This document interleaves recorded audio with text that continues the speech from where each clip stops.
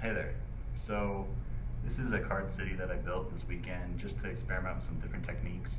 Um, nothing too special going on.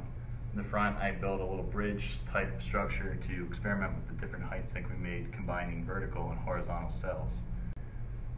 This building here, I tried to play with different shingling techniques.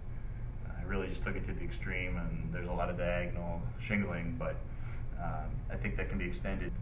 And then over there is just a, tower to, to play around with some stuff. So what I've done is I've rigged this uh, structure with what I've done is I've rigged this structure with black rope around each of the buildings and I'm going to try to pull them down. Let's give it a try.